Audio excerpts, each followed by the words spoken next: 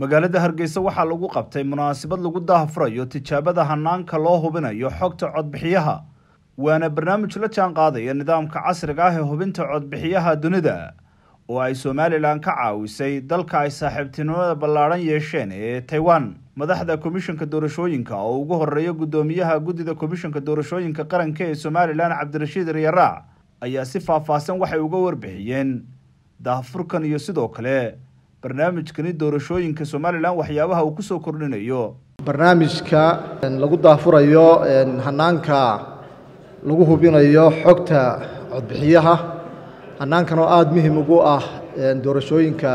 ka qabsooma dalkan jamhuuriyadda somalilan. Yaan loo fahmin in qalabkan lagu howlgelayo diiwaangelinta diiwaangelin maaha waa maalinta doorashada. Wuxuu hubinayaa codbixiyaha saxda ah ayuu inoo hubinayaa wuxuu inoo sheegaya qofkaasi ma laba ma dhidigbaa goobta. Goortuu iska diiwaangeliyey taariikhdiisii maalintuu ka codeeyey iyo inuu isagii yahay iyo inuu isla goob kale qofkan uu isku soo dayay inuu ka soo codeeyo waana in la fahmo. Somalilanna markaad eegto doorashooyinkaa faraha badan ee aynu soo qabannay ee sideedda ahee la soo sheegay iyo diiwaangelinaha aynu soo qabannay way kala duwanaayeen oo waxaynu soo marnay marxalado kala duwan haddaynu u fiirsanno diiwaangelintii hore aynu soo qabannay mid baa ahayd finger print oo dadka farta loo saarayey mid baanay waxbaba jirin oo buug oo keliya qofka lagu qorayey kuwii kale labadii diiwaangelinood ee iminka aynu soo dhaafnay waa bu'da isha ayaa laga soo warayey qofka. Tiiba ay noo sii socon doonta insha allah. Diiwaangelin kasta oo aynu qabsanno waxaynu ku samaynaa casriyeyn in la casriyeeyo. Tani waa casriyeyntii oo inala gaadhay maalinta doorashada marka waxaanu ku kalsoonahay insha allahu tacaala. Haddii ilaahay ina gaadhsiiyo in maalinta doorashada aanay dhici doonin shaki dambe oo dhacaya oo la odhan karo ama qofku wuxuu soo qaatay kaadh kale oo uu isku dayay inuu ku codeeyo. Marka taasaynu iminka ugu talagallay inay naga saarto shakigii. Waxaynu maanta isugu nimi waa daahfurka qalabkaa cusub ee dowladda taiwan inaga caawisay iyo tijaabadii qalabka laftiisa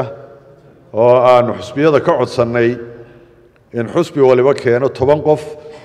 oo hay-adda shaqaalaha ka diiwaan gashan iyo toban aan ka diiwaan gashanayn oo annagu aanaan kala garanaynin laakiin mishiinku noo kala saari doono haddii alla ka dhigo waxaynu haysanay diiwaangelin saxa oo qofka xogtiisa la qaadayo oo indhihiisa la kaydinayo laakiin waxaynaan haysan xogtii kaydsanayd wixii lagu akhriyey marka taiwan waxay inoo dhammaystirtay inaynu akhriyi karno xogta codbixiyaha ee inoo kaydsan oo aan cidina ku murmi doonin doorashooyinkeennana insha allah ay noqon doonaan doorashooyin xor oo xalaala boqolkiiba boqol adduunyadana aynu ka nahay dalka ugu horeeyey ee isticmaalay in xogtaa akhriyeysa lagu isticmaalo doorashooyinka. Diiwaangelinta oo runtii ah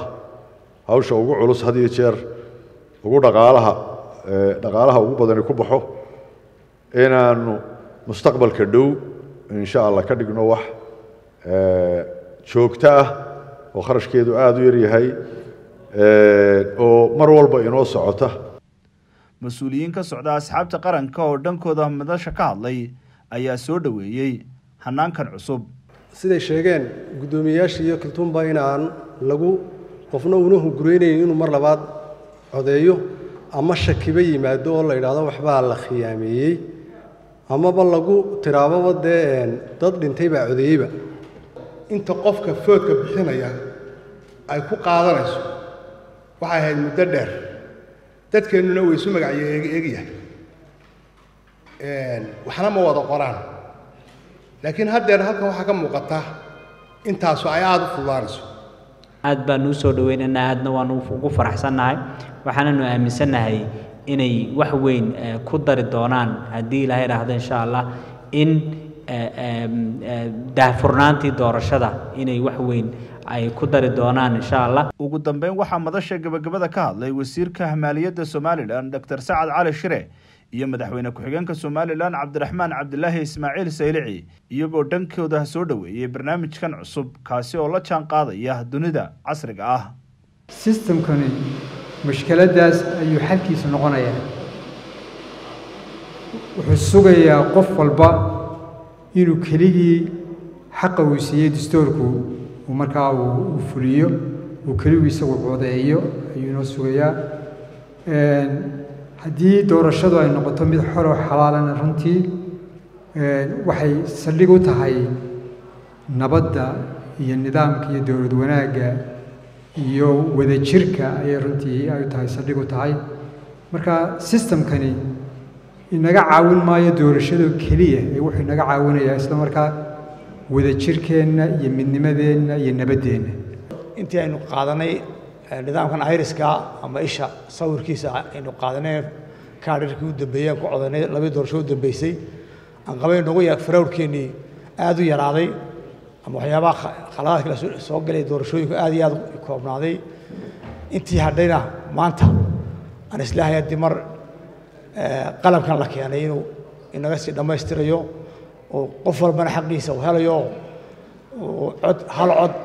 oo sharci u leeyahay qofku uu helayo ay meesha ka saarayso intii qof maqan qof buu eeg iyo culays culayska noocaasi ka imanaya inaga saaray runtii aad iyo aad bay dhammaanteen farxadii guul nagu tahay